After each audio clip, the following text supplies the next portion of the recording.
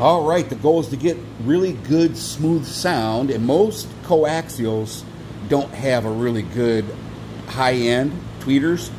These are CT Sounds 6x9s, and I actually just cut the wire to the that goes to the tweeter, added in 10 ohm resistor and a 10 microfarad capacitor, and it's it's better, but they're just not really that great at tweeters in this build. And I wanted to show you over here on the bench some other resistors that I just got done fabricating. And these are 15 ohm. I may have to put these 15 ohm ones in, but uh, just put labels on them because these aren't marked very good. But they're 100 watt, 15 ohm resistor. It just knocks the power level down. Doesn't do anything with the frequency, so it just doesn't make them as loud. So that's what I use. Trick of the trade. All right, thanks for watching, and we'll see you next time.